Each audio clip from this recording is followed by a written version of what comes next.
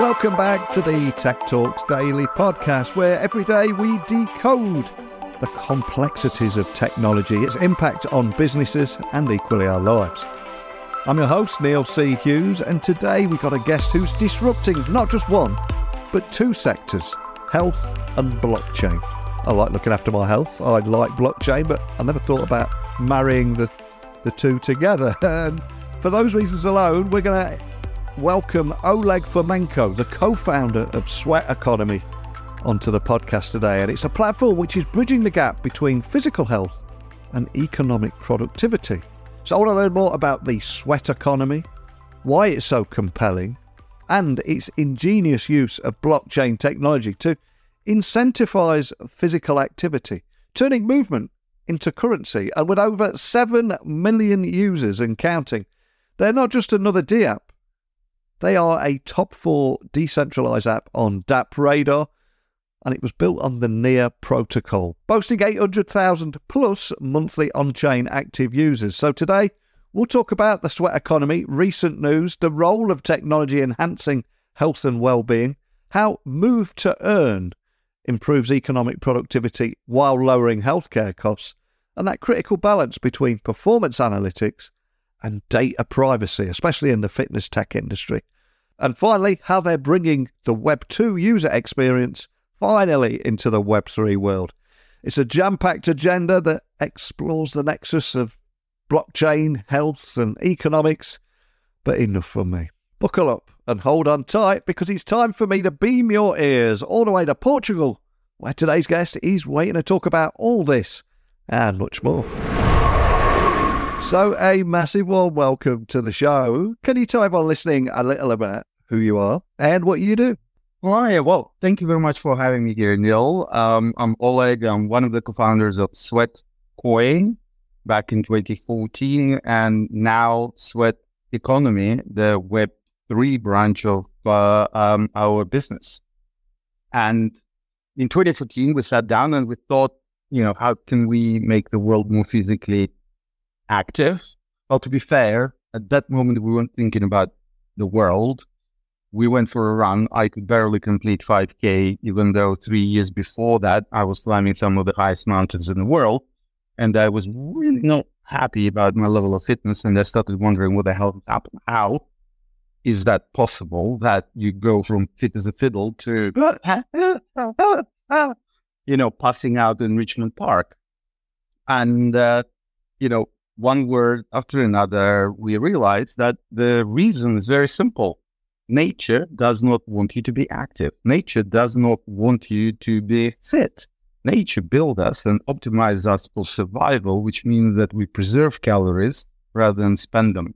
So, from nature's perspective, doing all the pull ups, push ups, or runs, unless you run from saber-toothed tiger that is about to eat you, it's a pointless you know, action. So you shouldn't be wasting energy on that. Or it could be to kill mammoths. That makes sense. But, you know, just going for a fun run.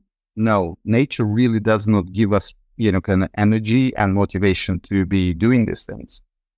So we kind of started thinking a bit more and we realized there is one way of tackling this, you know, massive problem, you know, because it's hard to fight nature. I mean, generally, it's futile, right? And uh, here we kind of have to because the world has evolved. There's no more scarcity. Calories are coming in abundance. We really need to find a way to, you know, kind of to change our behavior. And what we realized is that there is a way to deal with this, to give instant gratification for steps. So we kind of went, hmm, so if we turn step into gainful activity rather than calorie squandering activity in the back of your mind that should change your behavior. So we launched Sweatcoin and miraculously it did work. You know, kind of it's fascinating, but if you pay to walk, people tend to take more steps. Yeah. And uh-huh. when we realized that they were taking a lot more steps, the exact 20% more, and you know, that it was possible to turn it into a sustainable business. So it wasn't a charity, which a lot of people were accusing us. Then we just started scaling very rapidly, expanding into other markets. And as the name would suggest, Sweat Coin, we wanted to be on blockchain all the way from 2014, but we could not because back then, those that remember, uh, there was only one blockchain, Bitcoin blockchain. Too slow, too cumbersome, too expensive to build on. So we went, mm, okay, what's next? We spoke to Vitalik in 2015, but it was too early to build on Ethereum. And we decided, okay, we're going to go centralized. And probably within six months to a year, there are bound to be, you know, kind of other technologies emerging. So, you know, we'll find a partner and we'll build on it. Ha ha ha. It only happened in 2022 when we were able to actually launch on blockchain and we chose Near. And last September, we launched outside of the US. And today we finally rectified a big, big, big strategic mistake that we made back then, not going live in the US and Pakistan and a few other countries. And today we're fixing this and we're totally aligned geographical footprint of our health and fitness applications with Coin, with Sweat Wallet, which is our non-custodial uh, mobile application, and our token, Sweat, that you see here. It's incredibly cool. And I'm glad you shared your story there because I ran three half marathons in another lifetime. And I can't even run a mile now without being out of breath. So it's certainly something I'm going to be checking out. And and one of the things that you um, uh, put put you on my radar really was when I was reading about the recent developments in the sweat economy, as you call it, that have been.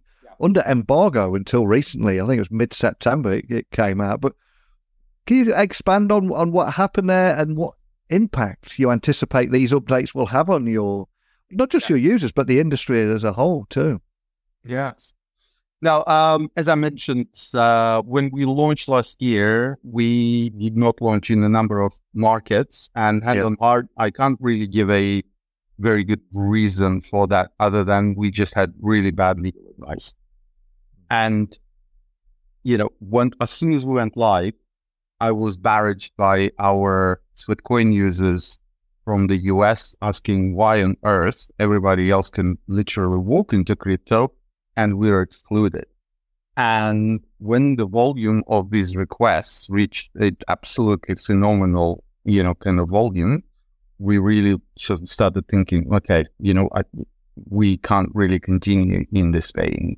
People actually feel the need for this product. And because the nature of our project is to make you physically active, that's why we started the whole thing. That's how we made it sustainable. So that's how we make money. It is not the typical kind of crypto project that people, you know, sort of typically think about when you mention crypto, right? It's not some kind of derivative of a derivative. You know, we have a simple idea. Physical activity is valuable. We tokenize it. We turn it into tradable crypto token called Sweat. And together with millions and millions of users worldwide, we find the price that humanity is valuing physical activity at. Very simple. We all agree that physical activity has value. When I say these words, everyone nods because, I mean, clearly, you know, we want our families to be physically active. We know that, you know, they're in a better mood they, you know, kind of they're in a better state, you know, they're fitter and they're pleasant to be around as well, and they'll live longer, which is great.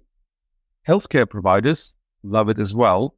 I mean, we have a very, very big contract with National Health Service in the UK who pay us to make people diagnosed with diabetes more physically active because it's extremely valuable and helps people not to become diabetic, improves quality of life, extends their health span, but also saves hundreds of thousands of pounds for the National Health Service that would otherwise go into insulin and medical treatment for uh, for this uh, for these people. So there are a lot of first parties that are very interested and motivated in your physical activity. And our basic thesis is if humanity was able to create attention economy, which we all know you know, kind of advertising, you know, Google's and Facebook's and all of that is a, you know, kind of an example of what, what comes out of it. which by some estimates is $7 trillion in size, seven times the size of the whole crypto, then our thesis is that there is a movement economy out there because physical activity is very similar to attention. Both are valuable to you. Both are valued by third parties that are willing to pay for it. And both are scarce. And right now, the attention economy is $7 trillion and everyone understands it. Movement economy or physical activity economy does not exist at all. And that's what we're driving for the creation of this economy and powering all of those use cases where you will be able to pay some of your insurance premiums in sweat because you're physically active. Will be able to pay some of your taxes in sweat because that means that you're putting lower pressure on healthcare costs in the country that you're in. You're going to live longer and your total tax revenues that you will end up paying to a country are also going to be higher. So, you know, can this, it is a very, very big vision and we just want to make sure that sweat is not perceived as some kind of token and, you know, kind of the security is completely ludicrous conversation. What we are positioning as is the tokenized physical activity, the new asset class that everyone knows is valuable, but nobody knows yet what is the right price of it.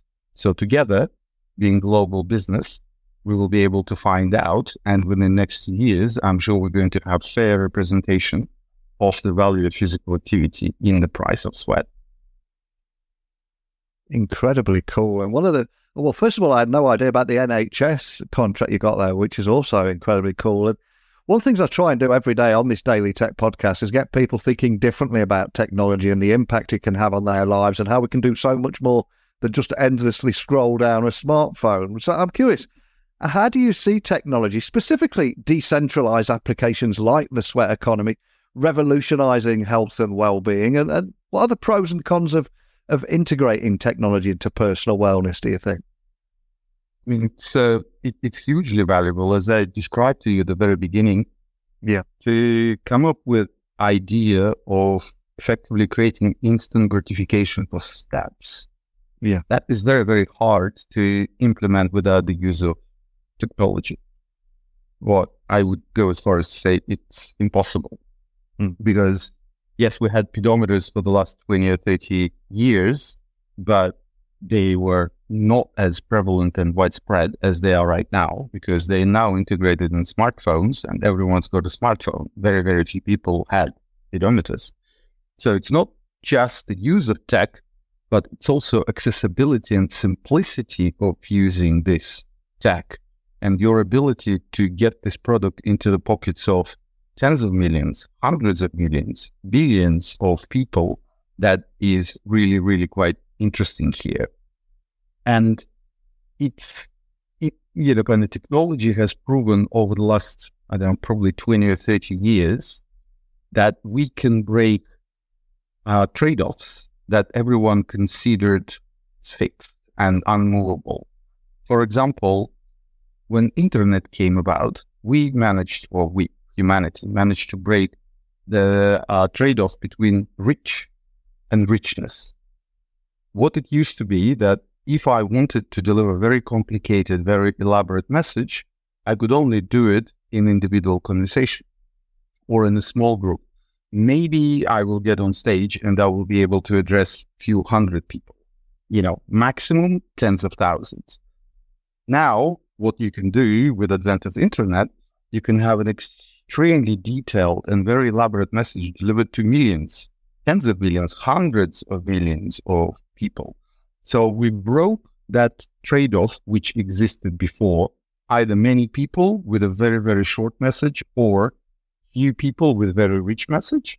And all of a sudden we were able to create attention economy in modern world and in our minds right now we have this really crazy trade-off which is if you're talking about being physically active being healthy being fit we automatically think that we need to pay for it because that's how everything works. You got to have gym membership.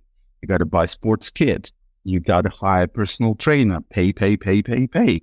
But being physically active is not beneficial just to me. It is beneficial to so many other people out there that are willing to pay for it. So you can actually start seeing that this trade off doesn't have to exist.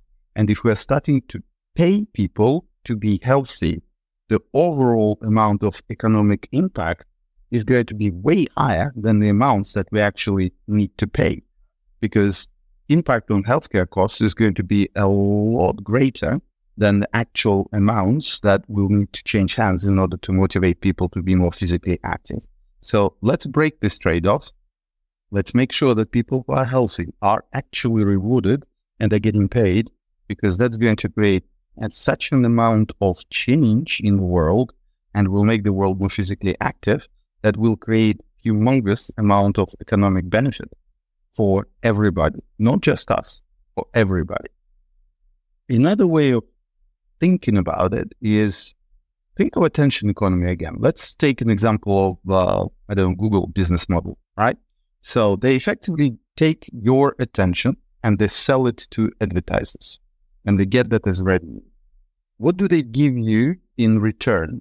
They give you free product, hmm. right? Now, if you see how they've been doing economically over the last 20 years, you would suspect that they have not been returning a full value of attention to you. And they've been keeping a lion's share of it to themselves. And only the sliver of it was returned to us in the shape of free product.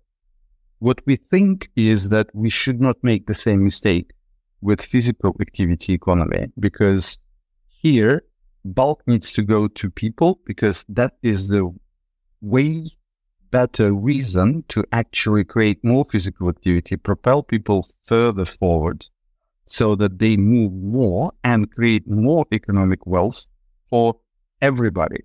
If we use the same model as big tech is using right now with attention, somebody will get rich, but actually people will not change their behavior and we would fail miserably in accomplishing the goal of making the world more physically active. And just to give you some perspective how far we are from being active, the average number of steps that Americans take per day is in the region of 3,000 steps, less than a third of what is recommended. In Europe, it's a little bit higher, it's about 5,000, but still half. So we have huge amount of work to be done to get us to just, you know, the lower end of recommended range, leave alone, you know, kind of make us truly kind of sporty and fit. So I'm really, really excited. You know, kind of the, the, the ambition is huge. The field is completely green. And we have an opportunity to use blockchain that has this reputation of being you know, kind of money, money, money, money use cases to be used to actually change people's lives and create a whole new asset class, physical activity, which makes even people in blockchain space extremely excited because all of a sudden it broadens their horizons and it broadens the ideas what you can build using this tech. And I think that this move to earn mechanism is incredibly intriguing and will be for a lot of people listening. And I love how incentivizing uh, physical activity could actually lead to economic productivity gains and reduce healthcare costs. And for anyone listening that may be thinking about giving it a run out, giving it a try, you, can you just walk me through how they'd get up and running, what they need to do, and what they can expect? Yeah, no, very, very simple. You open your um, iPhone or Android device, you go to App Store or Google Play, and you type Sweat, the top app is going to be Sweatcoin. Install it, register, and you, you know, kind of off to races. That will allow you to track your steps and convert them. If you then want to move into, you know, walking into crypto, all you have to do is just find a banner that says walk into crypto, tap on it, follow prompts, and you will effectively choose to generate instead of sweat coins, sweat, which is the crypto token and you will install Sweat Wallet. As simple as that. Every app is free. They do not eat your battery. We are not trying to make money by charging huge ticket prices at the door. we actually want more people in because as you become more active, our revenues also grow. So it is really, really good business for us. And it is an amazing business for you. And as we mentioned, in an industry that does thrive on personal data for performance analysis, how do you at Sweat Economy better manage uh, and protect user privacy? Is it blockchain that's the key here? Um, no, in short, but European GDPR framework is by far the biggest sort of lever here. Yeah. All the data that we collect is sitting in Europe. Therefore, it is regimented by GDPR. We've never transferred or sold data to third parties. We don't do it and we never will. But what we've learned over the last nine years in this business that a lot of parties value this data tremendously. And we had a lot of offers to buy it off us. What we have decided to do is to wait until we're fully decentralized. You know, if you go and you look at our history, we had some some of the biggest governance votes in history of Web3 have been conducted by us. The last one that actually cleared US launch and allocated budget for US launch had 380,000 people casting their vote. So we're making big strides in, in direction of decentralization and we'll continue doing so. Once we are fully decentralized, what we'll do is we'll build a data union that will allow you and you alone to be able to flick the switch and make your data accessible to third parties for analysis. And that will allow you to earn from those analytics. But we do not want to be sort of involved into that process because we do not believe that this data is ours and that it is up to us to decide where to put it, how much to charge for it. You know, it just, you know, call it silly. I mean, I know that in the US, a lot of people have a very different point of view, but this is also why we're based in Europe and why we really welcome GDPR as a framework that stipulates how we operate and how we treat our users' data. And I'm curious, what challenges did you face in bringing this Web 2 experience into a Web 3 ecosystem? And what do you think that means for the future of decentralized apps, particularly in terms of user accessibility and engagement, etc.? Yeah, uh, it's a great question. It wasn't very easy because um, the understanding, you know, the deep understanding what blockchain capabilities are and what use cases, you know, it should be used for is not there. I mean, let's face it, when you talk to a lot of people that sort of waded into blockchain and crypto in the last sort of five years, I guess from 2021, yeah. is because it was just booming. And, you know, kind of people waded in because there was a place where they could make a quick buck. I'm not saying everybody, but many. Yeah. And this narrative and these actions have been overshadowing quite a lot of genuine innovation that is going on. And that is the reason why I am personally really, really quite positive about this crypto winter because what I'm seeing is narrative chasers and people who are not genuinely passionate about what they're building and the problems that they're solving are drifting away and losing their motivation and moving into AI or whatever the cheaper and you know kind of hotter area of uh, vocation is at the moment. And what it tells me is that people that continue building and people that continue to do things, launching new geographies, are the people that will actually make a difference and will take full advantage of the next bull run and make their communities extremely happy in the process and on the way. So I'm just saying to everybody, look at it as a positive thing because the last bull run was crazy.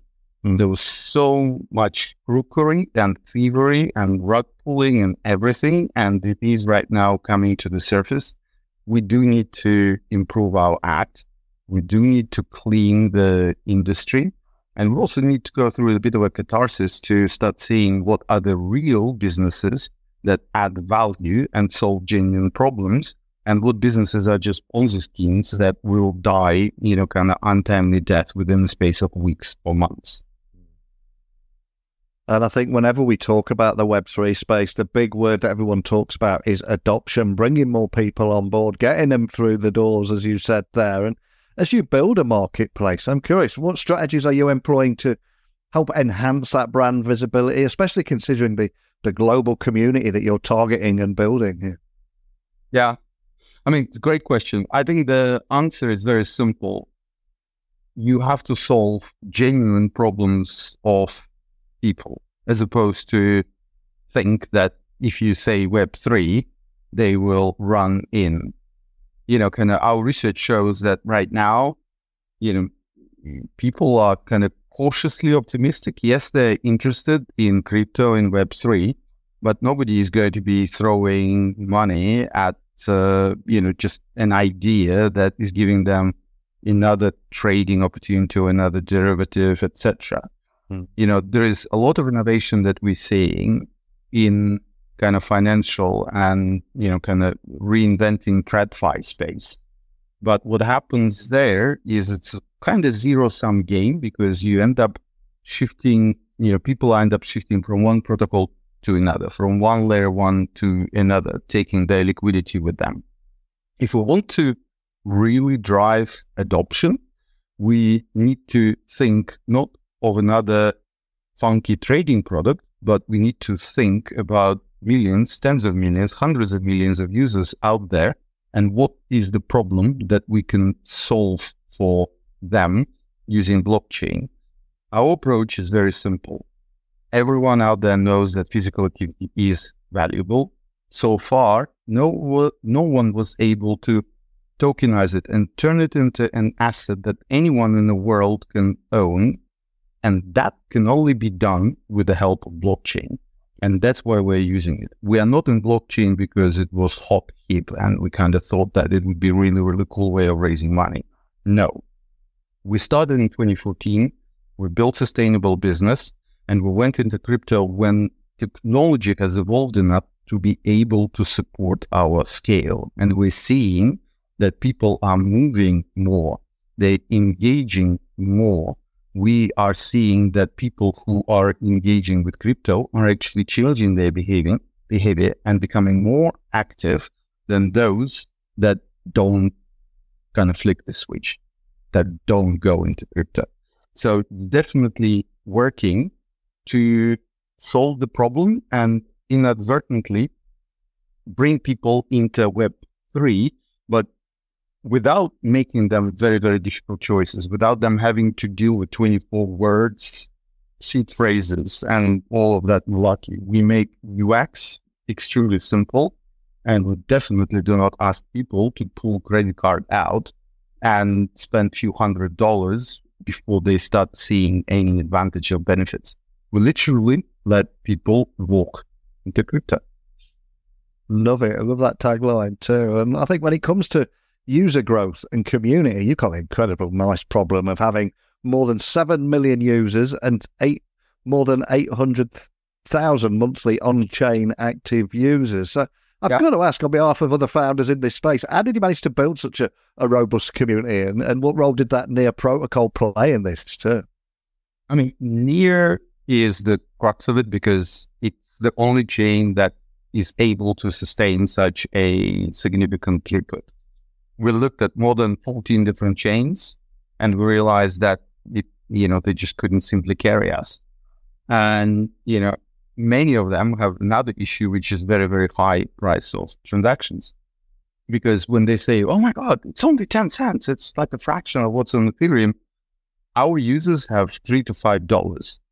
To pay 10 cents for a transaction is not something that they should be confronted with. So we really need to have high throughput, very low cost chain.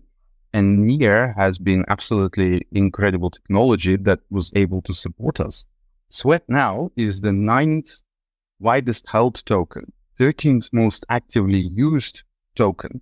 And Near is carrying us without any problems. And if we grow 10x, it will just add few more shards and we'll be able to cater to these new requirements, which is absolutely incredible.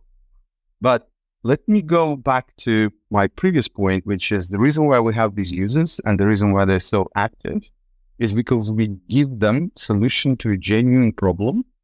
And we are really, really busy building engaging product as opposed to clever tokenomics product that has shitty user experience and is not thinking about ongoing and constant engagement. You cannot make a game fly by having clever tokenomics. You cannot make, you know, kind of project fly just on tokenomics alone. It needs to solve genuine problem. It needs to be really, really well designed and well researched and not use HODL, BUIDL, finality and all of that terminology that turns off the mass market and, you know, kind of presented in a very, very kind of user friendly way this is the stuff that we're seeing more and more. There is another project that is building on Near called Cosmose or K-Chain. You know, similar thing. They're solving real user problem and they're using Near and blockchain to solve certain aspects of this problem to lower cost, increase speed, etc., etc. Let's stop developing another DEX derivative of a 15 whatever variable that only three people in the world can actually understand what it is, let's start building pro- products for billions of people. Our conversation today has focused on introducing people to the sweat economy and the movement economy and the great work that you're doing here. And we will have, though, a few people uh, from your loyal, should I say, a few of your loyal community members listening, hanging on your every word, waiting to hear if there's anything that you reveal or drop in this episode. And I appreciate you might not be able to share too much, but where do you go from here? Where do you see the sweat economy and the broader movement economy heading? And any plans for partnerships, expansions, or pivoting? Is is there anything you can leave your your community members with? Yeah, no, there is uh, there there is some really exciting stuff that is already happening right now, but will be, you know, kind of rippling through the community and will be delivering long term benefits to everybody. I mean, one is we call it DeFi jars. So our grow jars, which is the way we call the product that generates interest to you instead of staking, because staking is just not a term that you know most people understand. We have just migrated all of it onto smart contract. And we also build it in a way that ensures that if you put some principal into that grow jar, nobody ever other than you can retrieve it from there. So we remove that biggest risk that staking protocols have run into where you bring in the asset, you give it to someone, and they give it to Gnosis or FTX or wh- whoever pays the highest interest. And if they go bankrupt, the whole amount is gone completely. We completely remove this risk we don't want to take this sweat that you are putting into grow jars and invest it anywhere. The reason why we're doing this product is very simple. It is like a loss leader in the supermarket. You know, when you go to the supermarket, you see really, really cheap product at the door. You go, oh, amazing deal. You go in, supermarket loses money on that product. But if you look at the whole basket that you're walking out with, it is a good business for them. Same thing that we do with the staking product or with the grow jars. We want to have it in Sweat Wallet to make sure that every person who owns Sweat and who works for Sweat is engaging with our wallet. And they have a reason to constantly be around and explore other things that, you know, kind of we can give them in exchange for Sweat. The other thing that is extremely exciting is called meta transactions. It sounds kind of horribly technical, but in essence, what it is, it is possible for you to pay network fees or blockchain gas fees instead of Near using Sweat. Yeah. And we already moved quite a lot of functionality of Sweat Wallet onto these rails. So you don't have to think about Near token on your account in order to use Near. And what we're thinking of is the next step. Can we actually extend that to multi-chain gas fees? Because right now, as soon as you start going multi-chain, your head breaks in, you know, I need one token here, then I need another token there, and it just makes it into absolutely messy and extremely complicated experience. We think that we can master it so that you would be able to pay all your fees by moving one foot in front of another, no matter what chain you're on.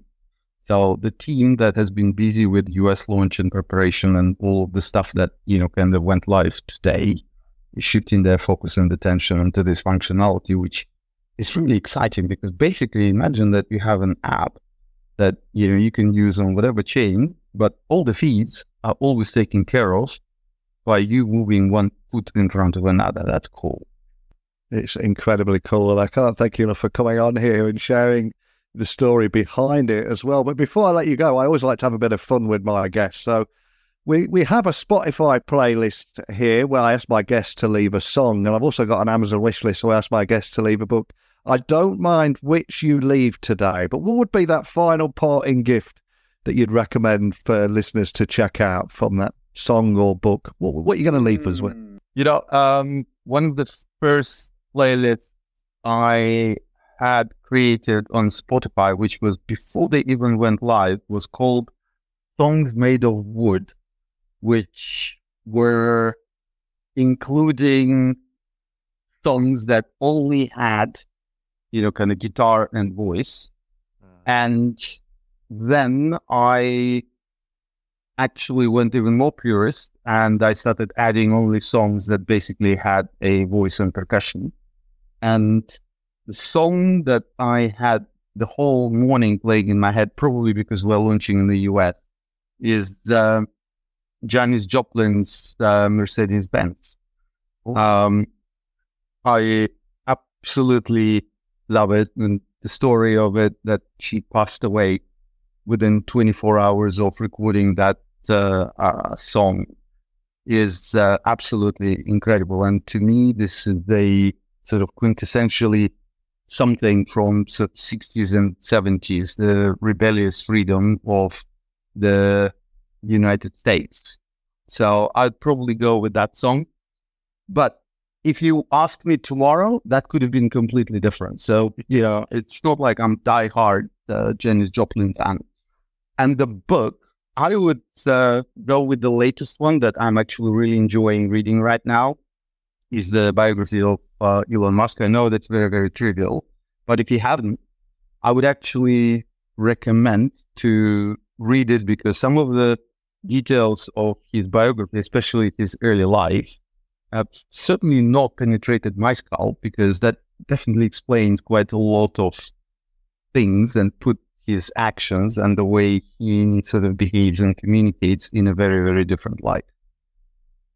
Awesome. Well, I'll get both of those added to our list. As a big thank you there. And for anybody listening that we've just hooked today, we've set off those light bulb moments. They want to get involved in the sweat economy. They want to come in the doors. Where would you recommend everyone listening check out? And is there a community that they can join too? Where would you point everyone? Absolutely. I mean, we have more than a million people in, you know, kind of engaging with us on a regular basis. So the biggest one is probably Discord. Um, so it's sweat economy, one word. Twitter or X, uh, also sweat economy. Um, you can find me on Twitter, Oleg underscore F E M. Um, we're also on Telegram, um, Sweat Economy. So just search for Sweat Economy uh, or open our website, sweateconomy.com.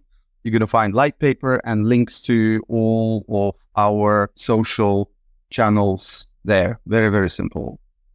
Awesome. Well, I'll get all the links added so people can find you nice and easily. As I said very early in the podcast, I love trying to get people thinking differently about technology and how they can use it to be more productive or improve their life. And for me, just listening to you there talk about the role that tech can play in improving our health and well-being, how move to earn can enhance economic productivity, lowers healthcare costs, and also how you're bridging that Web 2 user experience to Web 3 by building a marketplace and the value of uh, brand visibility to global communities that you're delivering to. all pure gold from my side. But just thank you for taking the time to sit down and share it with me today. Thank you very much for having me, Neil. And uh, yeah, GM uh, in our world is get moving. So, you know, get moving, everybody. You can get healthier and wealthier in one go. And it's free. Well, that was an illuminating discussion, wasn't it? Huge thank you to Oleg for sharing such groundbreaking insights into how technology can serve as a catalyst for improving not just personal health, but economic productivity. And I think it's fair to say that the sweat economy is at the forefront of demonstrating how blockchain can be applied to real world issues in a way that is both impactful and sustainable.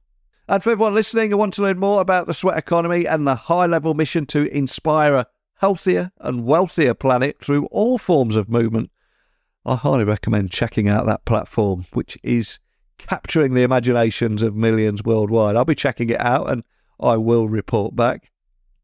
But that's it for today. So let me know your experiences with the platform.